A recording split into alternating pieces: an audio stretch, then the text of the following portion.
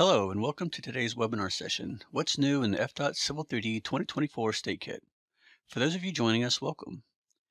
Today we'll be covering what's new in the FDOT Civil 3D 2024 State Kit along with new features in Civil 3D as well as some tips and tricks along the way. This session is divided into two segments presented by me, Mike Rocca, and Randy Roberts, both of us from the Florida Department of Transportation. For the first segment, I will show a quick slide discussing what the feature is and what it is used for, then show a demonstration of the feature or application. So let's get started.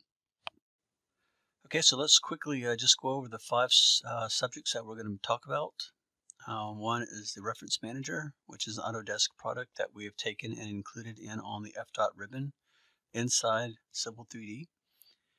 We've created an in-house application known as the GCS Reporter or the Geographic Coordinate System Reporter which will scan an entire project and give uh, feedback as to what, if any, coordinate system has been assigned to a drawing. Uh, we've added the ability to assign a coordinate system um, when creating a drawing using the create file utility.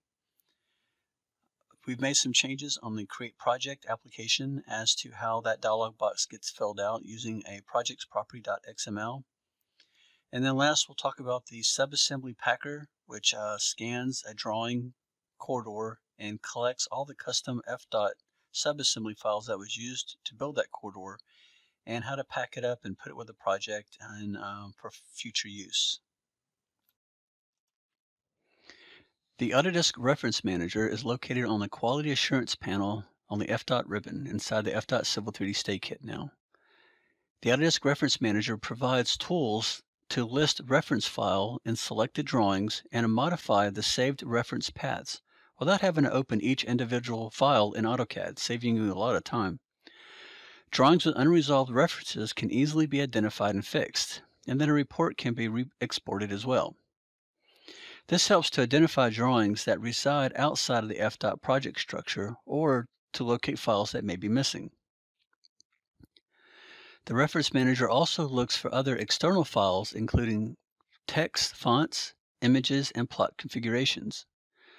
Also, instead of just having to do each individual drawing at a time, you can take the entire FDOT project and drag it into the Reference Manager. It'll scan the entire project without having to select each individual DWG file. So here in the State Kit, on the Quality Assurance panel, we're going to select the Reference Manager. On the left-hand side, we're going to select Add Drawings. We're going to go to our project, and we're going to select a drawing that has a missing reference. We can select either one drawing at a time, or we can hold down the Shift key and select multiple files. I'm going to select this drawing, click Open. I'm going to choose Add All XREFs Automatically Regarded of Nesting Level. It's going to process it. And then on the left-hand side, we can see the status, whether they've been resolved or they're missing or not resolved. We have the found path and the host path of where the drawing's at. On the left-hand side here, we can expand the drawing name and take a look at each category. And on the bottom here, we have a plus symbol next to XREF, meaning it found an XREF. So it's looking for this topo drawing RD01. We can see that the status of it is not found. Here's where the path where it should be found in the survey folder. So let's go ahead and correct this. So I'm going to launch my Windows Explorer. I'm going to take this file, topo rd01. I'm going to cut it. I'm going to select my project. And I'm going to find that survey folder. That's where it's looking for it at. I'm going to paste it in there. And minimize Windows Explorer. And now we're going to go to the found path. That's where it's at now. Select it. Yes, it is in that survey folder now. Let's go and just pick it just to make sure it is picking the right project in the survey. I'm going to click OK, click OK again, and you can see over here to the left the status of it has been resolved now. And we can go ahead and say Apply Changes. Instead of having open the drawing, do the, uh, the save path and found path. We can do it all right in here and click OK. Saves a lot more time. Next, let's look and see how we can add an entire project to this reference manager. So I'm going to go ahead and say exit. I'm going to launch the reference manager again. And I'm going to find my project here. And I'm going to left click and just drag it into the reference manager dialog box. Again, I'm going to choose add all XREFs automatically. And it's processing 28 drawings. So it, uh, it's actually pretty quick. Uh, we'll just give it a few seconds here to run through.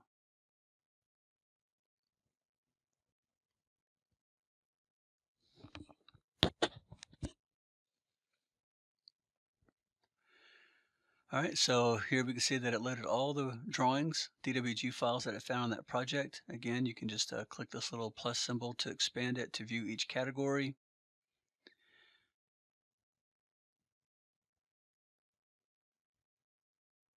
Uh, again, there's some with XREFs. It's looking for that topo. It's resolved, that one. Um, up here on the top, we can choose Export Report.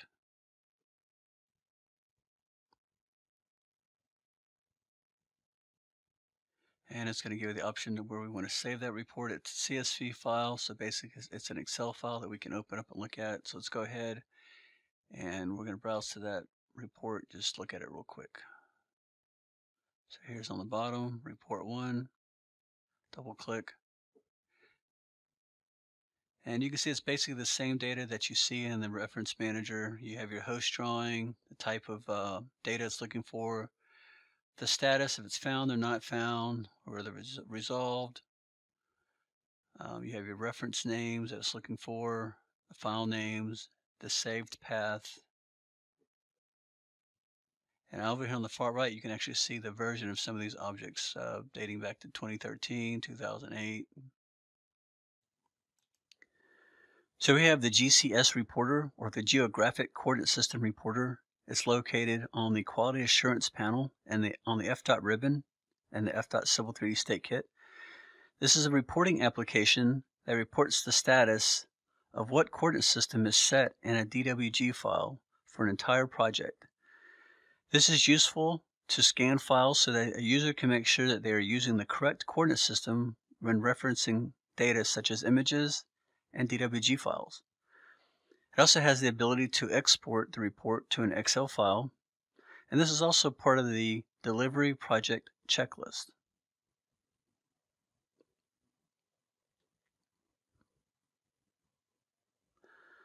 So inside the FDOT State Kit on the FDOT ribbon, we're going to choose the GCS Reporter icon. Here you see that a palette comes up. We can move it around. Up on the top, we have the option to browse to our project. So we're going to go to project folder, select our project, click OK. Up on the top, just verify you have the right project selected. On the bottom left here, we're going to choose Run.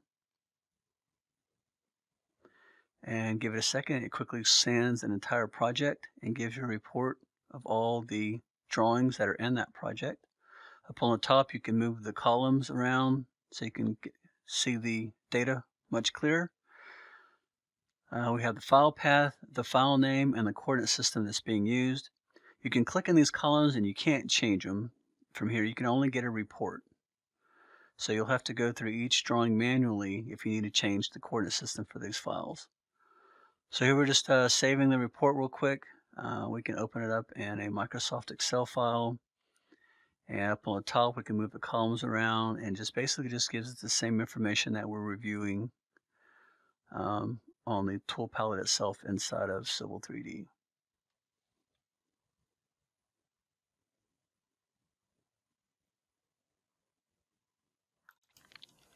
So here we have the create file application. We've added the option of assigning a coordinate system to files as you create new drawings.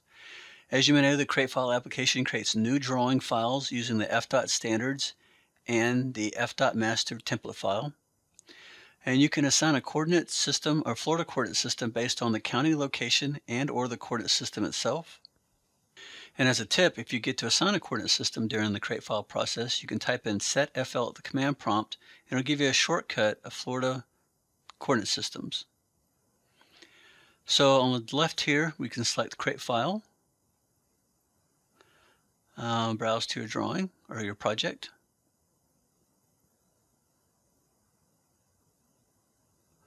select the folder. Again, just pick your discipline, your file group. Uh, here we're going to pick the line file. And on the bottom left here, we can pick the county that it's in. If you pick the county, it'll automatically assign the coordinate system to it. We have all the counties in Florida here.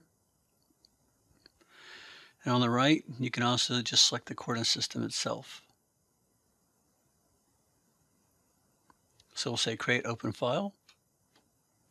Click close to close out of the create file dialog box.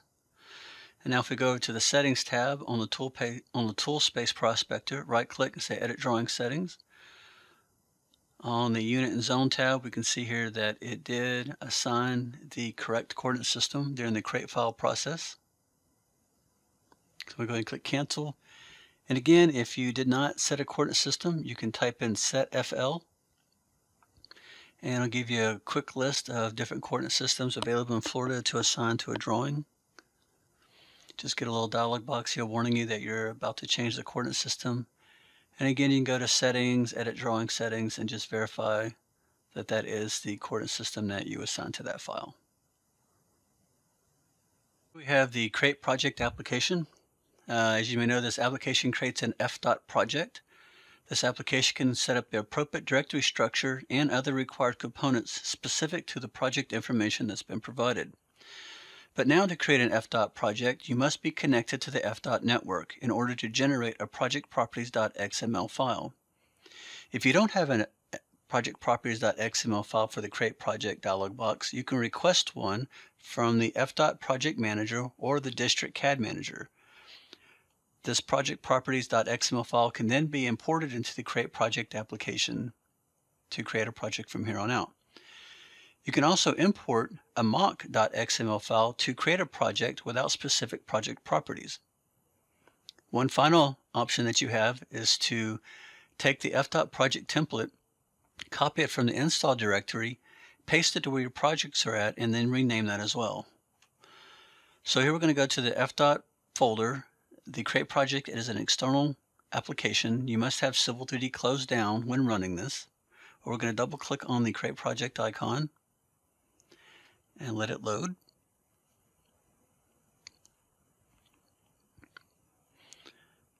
Up here on the top, you can pick where the project goes. Um, you can type in the project number.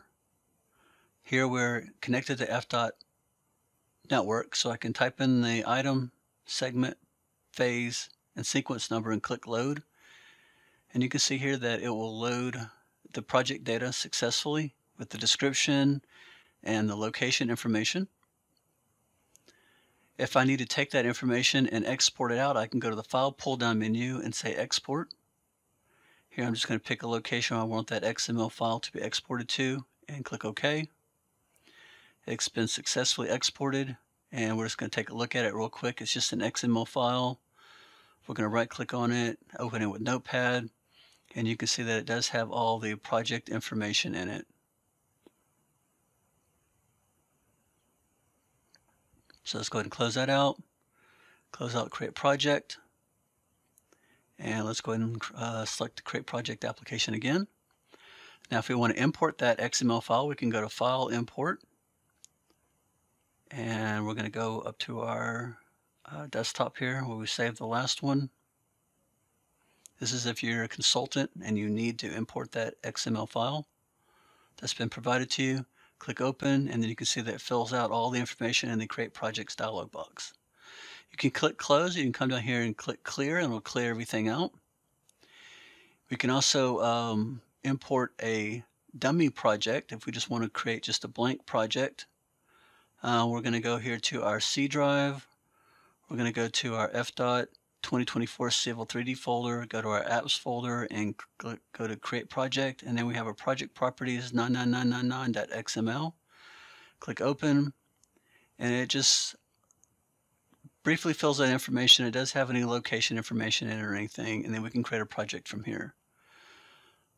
We can clear this out and there's one final option that we can go through to create a project if we don't need an XML file or anything is we can go to the C drive, go to our install directory, And we can select this FDOT project templates, which, ha which has the FDOT project structure in it. We can copy it and then pick a location. Here I'm going to put in my projects folder, right click and paste it, and then I can just come up here and rename it. But when you do it this way, it doesn't alter any of the DST files for Sheet Set Manager. They're all blank, so they're not going to have any of the project information in it as it would if you had a proper XML file from um, DOT. So here we have the um, subassembly packer located on the Tools panel. The uh, FDOT subassembly packer archives custom FDOT subassemblies that have been used to model a corridor. The FDOT assembly packer utility archives all the associated .dll files required for the function of building a corridor 3D model. It also creates a subassembly backup.zip file and places it in the roadway folder. If the project gets moved from one computer to another that doesn't have these DLLs, then you would place the DLLs in the support path that contains your subassemblies. So here we're going to go to the FDOT ribbon. We're going to go to the Tools panel and choose Subassembly Packer. A tool palette comes up. Up on top, first thing we're going to do is we're going to select the project. So we're going to go to our projects folder and we're going to choose the roadway folder in that project because the roadway folder uh, contains all of our corridor models. Then we're going to click find.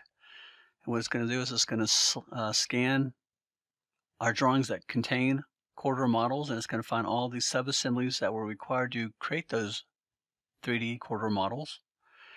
And you can see that it found about 26 of them. You can go down the list and you can see there's uh, several in there with FDOT um, in the first part of the name.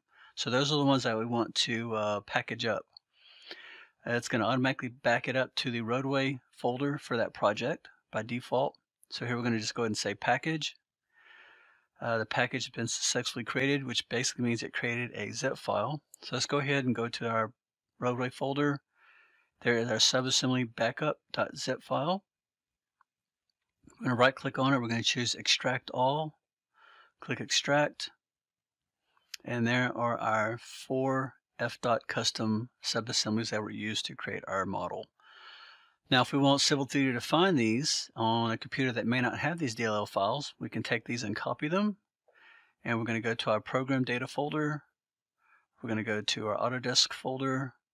We're going to go to the Civil 3D, uh, whatever year that we're using. In this case, is 2024. Then we're going to go to ENU, and then we're going to go to the FDOT subassemblies if you have that folder. If not, you can place it in one folder up. Go ahead and paste them in there. Um, in this case, we already have them, so we'll probably get a dialog box asking if we want to replace the files in this destination. I'm just going to click on the X. And that's how you use the subassembly packer. Hello, I'm Randy Roberts, and my segment of the webinar will contain five items. The first one is FDOT Multiline, which allows users to draw 2D FDM exhibit road sections complete with pay item numbers that can then be targeted for corridor modeling. XREF Compare allows users to compare changes to a file that has been X-referenced into a file.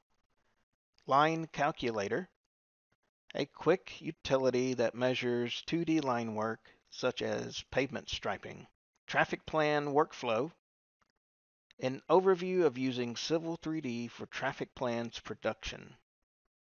And Project Explorer, which is a one-stop shop for all design parameters to be reviewed and or edited within a design file. So we are going to cover FDOT multiline and before I start with that I'm going to close my tool palettes, I'm going to close tool space so I can have more room on the screen and go into the FDOT ribbon. And before I use FDOT multiline, let's create an alignment real quick. So creating a alignment in Civil 3D is pretty simple. Um, I'm just going to draw a polyline to start, just something simple. This one's about 3,100 feet and I can create an alignment from objects, create the alignment, hit enter, the arrow for the direction. If it's not what you want, you can reverse it, hit enter, and the dialog comes up.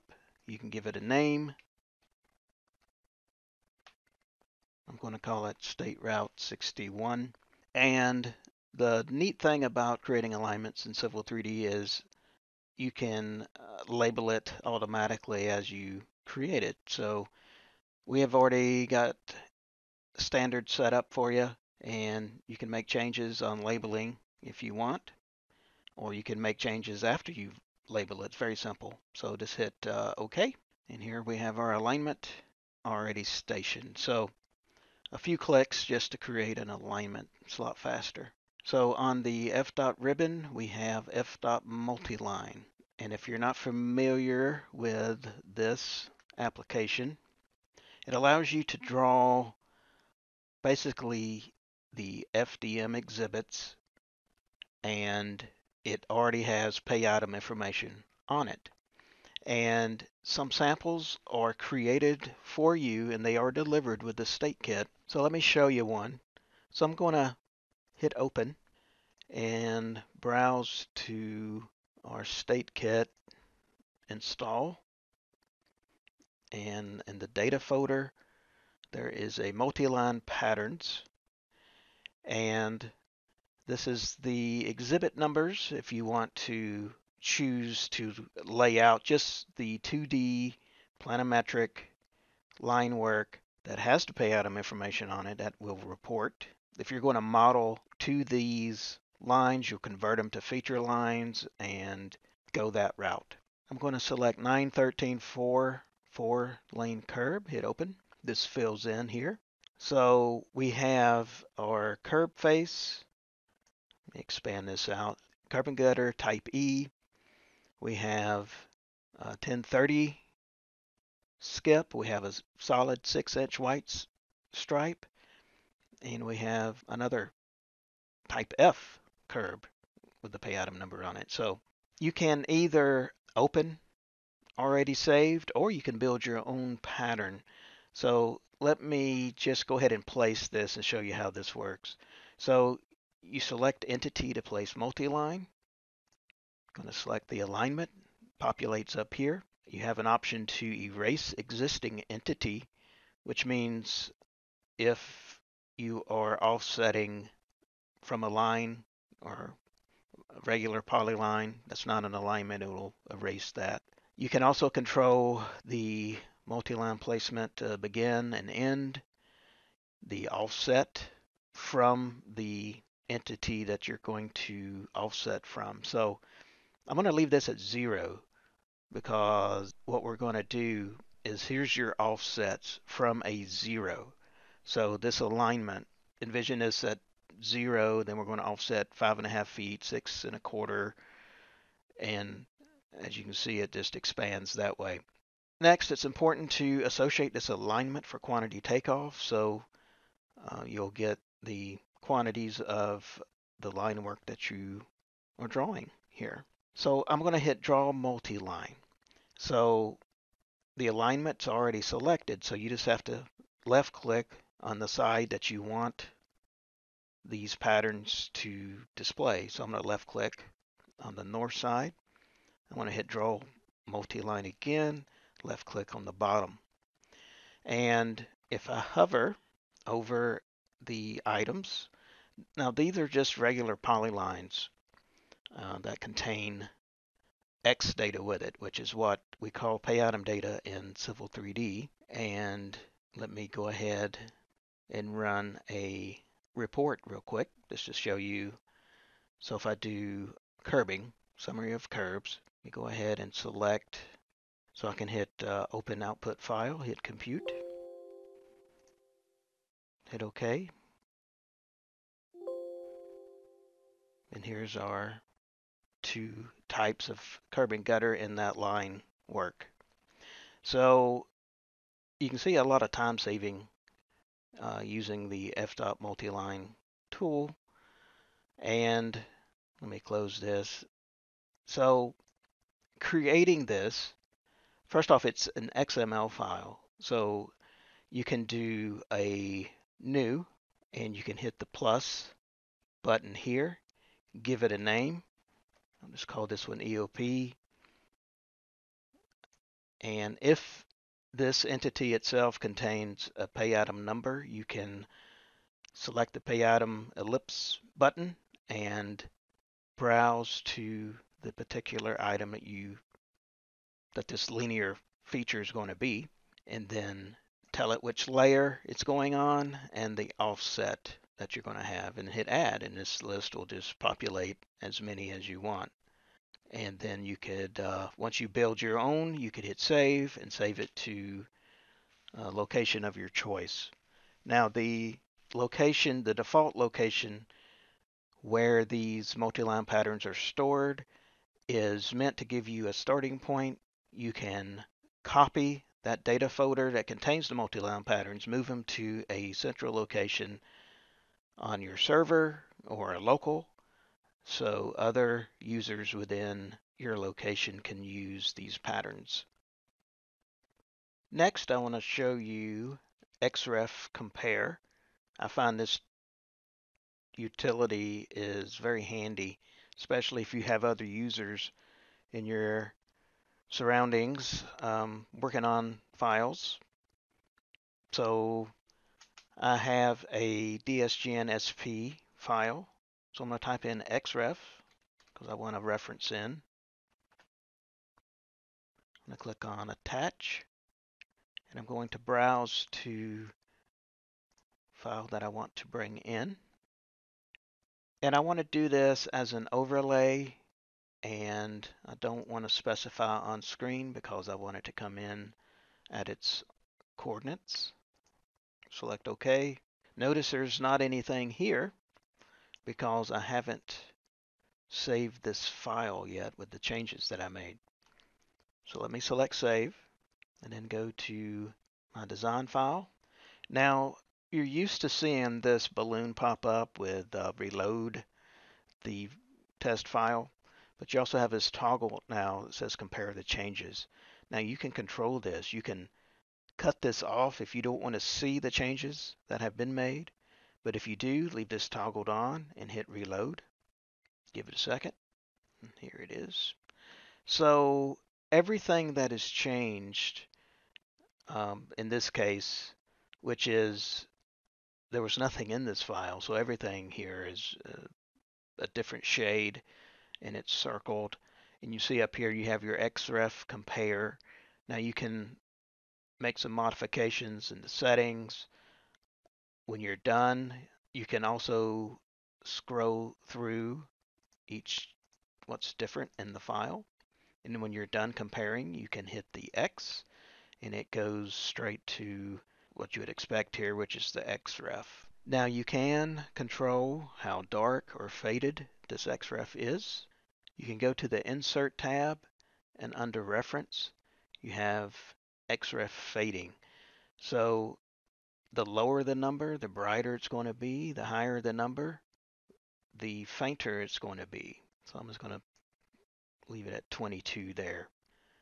Okay, so let me go back to this file and I'm just going to draw some lines here.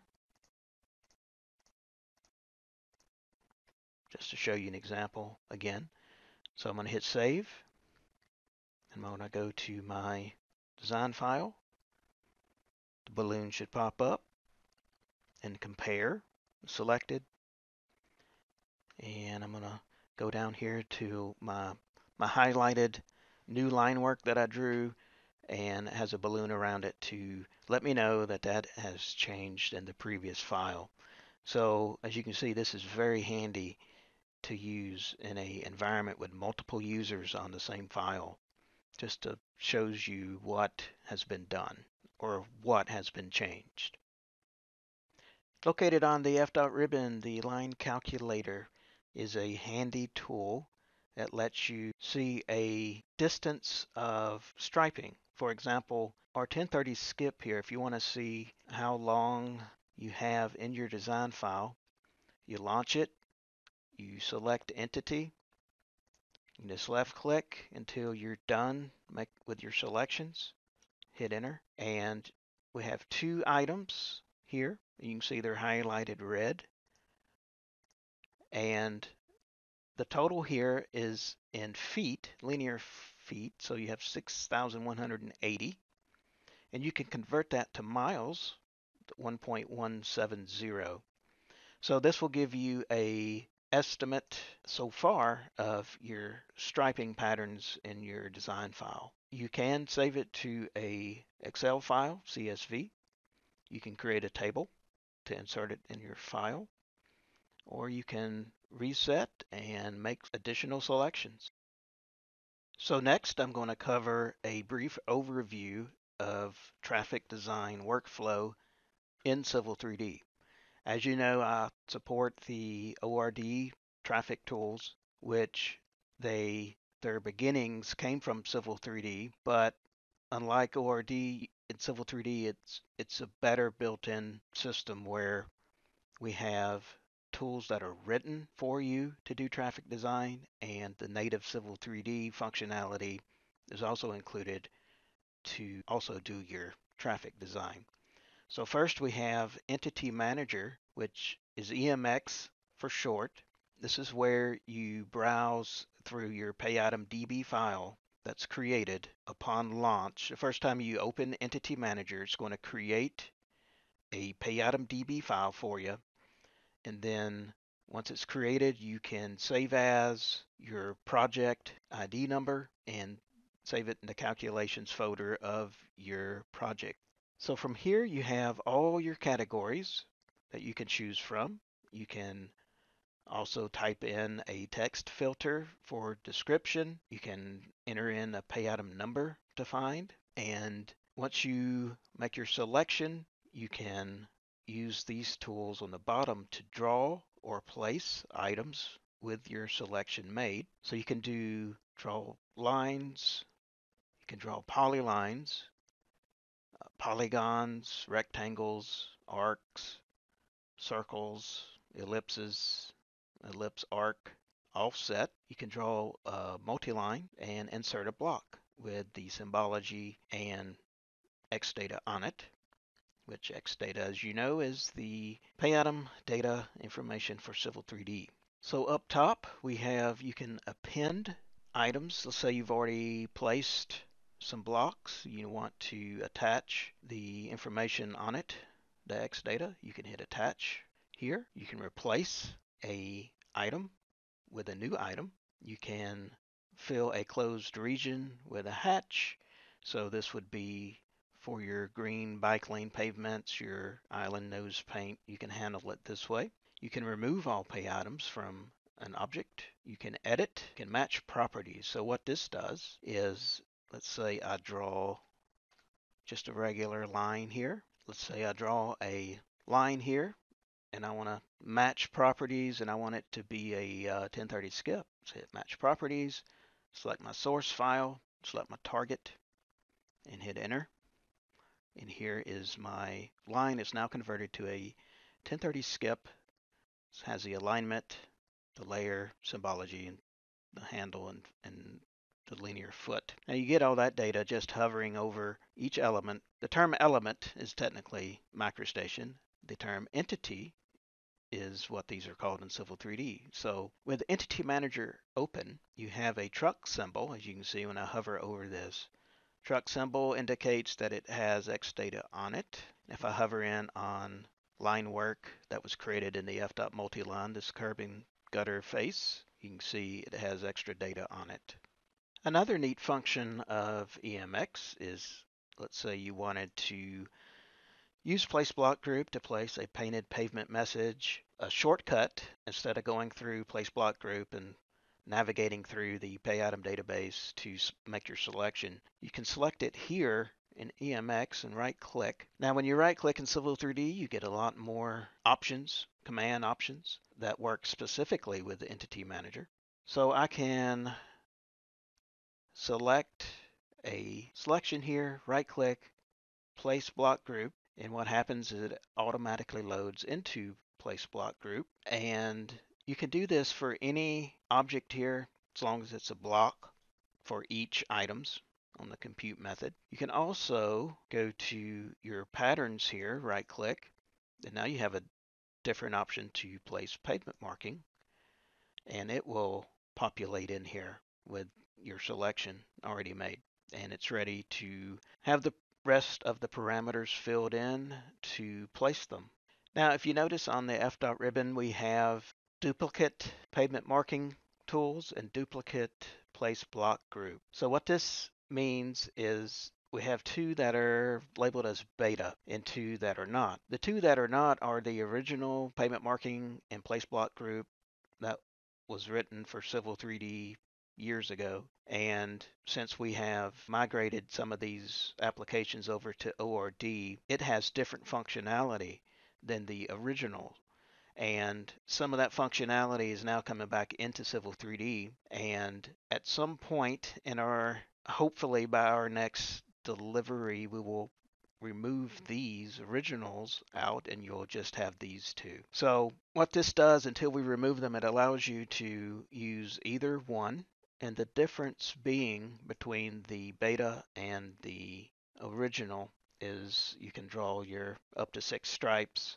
If you're using ORD pavement marking, this is the same functionality, right? So you can draw six, up to six patterns. You can have your history list filled out here.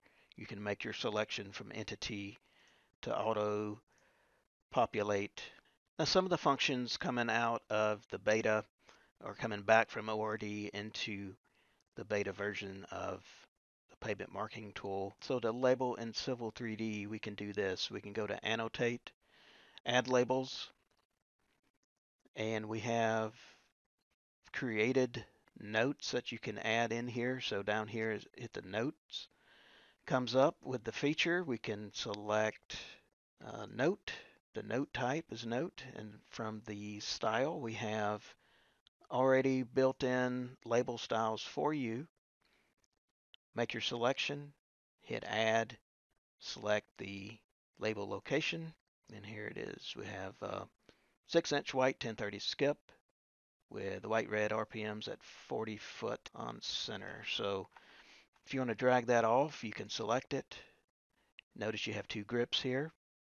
If you're unfamiliar with what each one does, you can hover over it so this top one here, you can either move the label or rotate the label. And the bottom one here is move the actual point that you inserted it to. So let me move it up to the stripe itself. I'm going to cut snaps off for now. I'm going to move this label to here. And then I'm going to drag it off. So when I drag it off, you see an arrowhead appears and you can go through here and make your selections for which type it is to add that particular note in your label.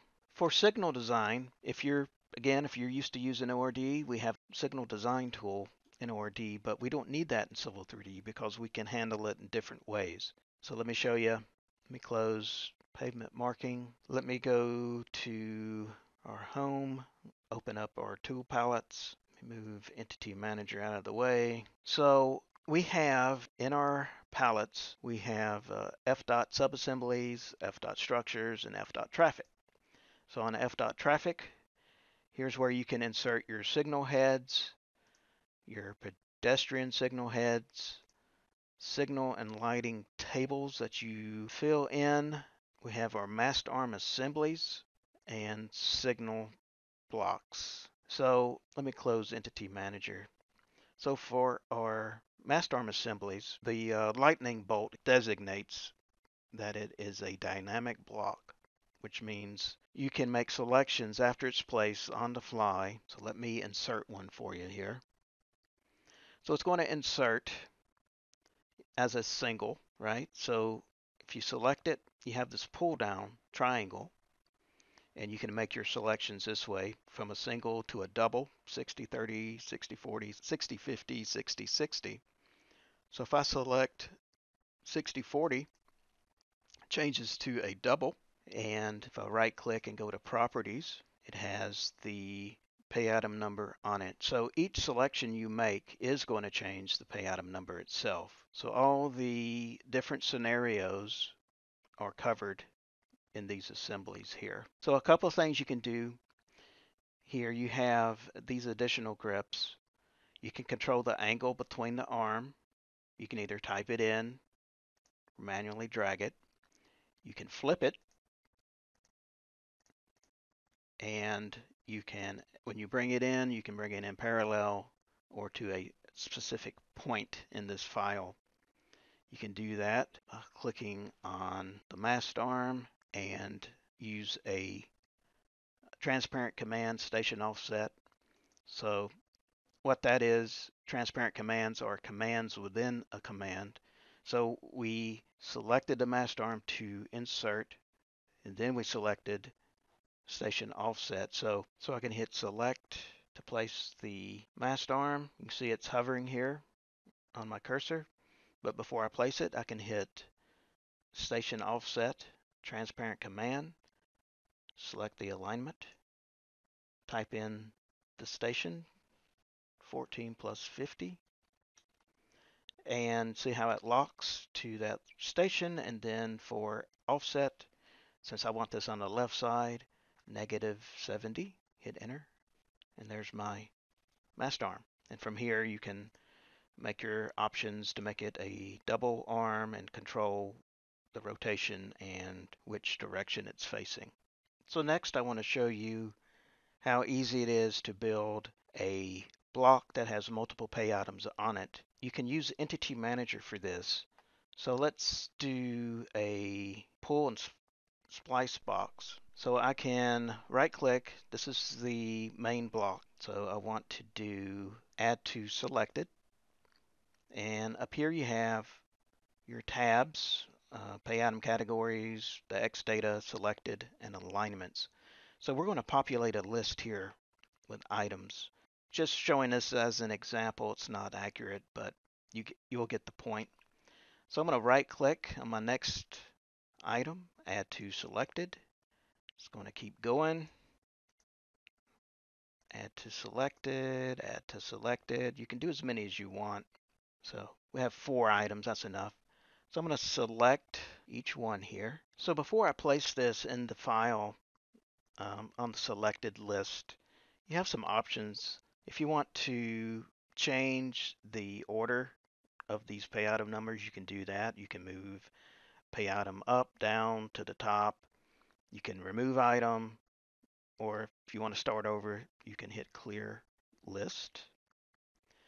So to place it, I selected insert block. You can see it's at my cursor here. If you wanted it at a specific station, you could use the transparent command station offset again. But I'm just going to left click it here. You see the truck symbol, which is always a good sign. So if I hover over it, you can see it has all the pay item numbers that are on this particular block. Now, another thing you can do here, you can add it to a favorites list.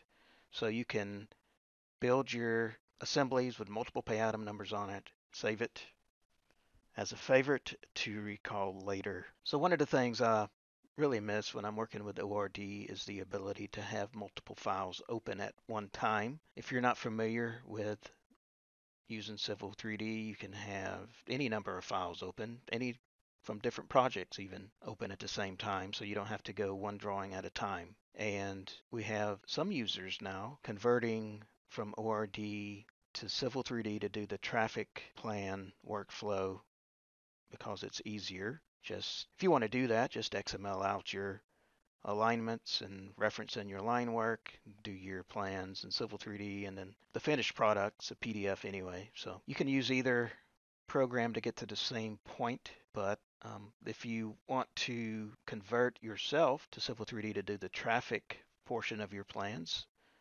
let the CAD office know and we'll be glad to help you through that process. Another thing you could do with Entity Manager is you can highlight objects with pay items.